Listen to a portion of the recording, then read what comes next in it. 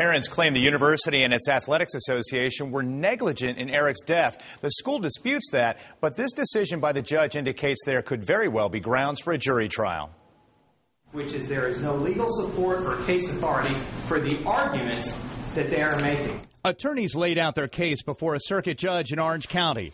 UCF arguing it could not be held responsible for the death of football wide receiver Eric Plancher because he signed two waivers freeing the school and its athletics association of any medical liability.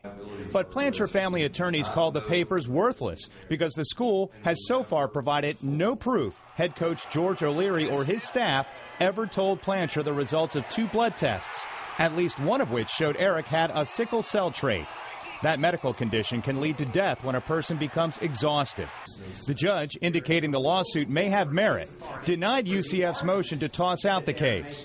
Judge Mara Smith wrote, There exists a legitimate dispute of fact as to whether the medical examination and authorization waiver constituted a release of liability. We're going to evaluate all our options before we decide how to move forward.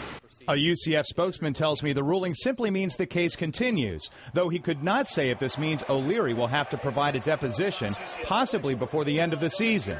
UCF insists its players and their health are the top priority of the coaching and training staff. Right. There's nothing more important than the health of our student athletes, and we give them superb medical care. We have in the past, and we'll continue to do that as priority number one. On a separate motion, no word just when the judge will rule on whether or not the UCF Board of Trustees and the Athletics Association can combine their defenses in this case. Attorneys for the Planchers tell me they're pleased with the court's ruling.